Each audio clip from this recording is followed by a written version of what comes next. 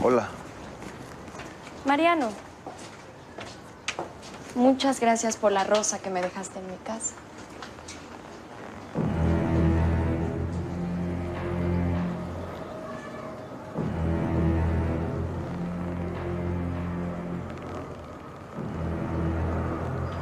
Vine a ver a tu mamá, me dijeron que se puso mal. Sí, mi amor. Vamos. ¿Vienes? No, vayan ustedes. Con un doctor es suficiente. Los dejo. Mañana vengo a visitarte, Teresa. Despídeme de tu mamá y dile que mañana le traigo su baumanómetro. Claro que sí. Adiós. Gracias por venir, mi amor. ¿Y ese beso? ¿Se te pasó el enojo por arte de magia o qué? Contéstame.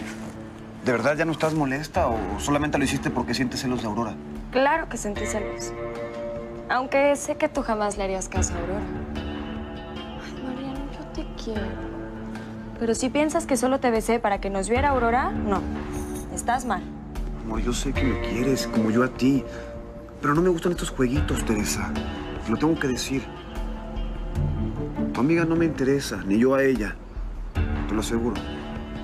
Y espero que te quede muy claro porque no quiero más problemas. Hoy me enteré que su papá trabaja en el mismo hospital que yo. Y puede ser que me lo encuentre muchas veces. Así que si eso va a ser motivo de pleito entre nosotros... No, quiero- no, no, no, mi amor. Olvídalo, ¿sí? Yo estoy ahorita como tú estabas al principio con el licenciado de la barrera. Ya. Es una tontería, ya. Así es, mi amor. Qué bueno que te das cuenta. ¿A dónde vamos a parar?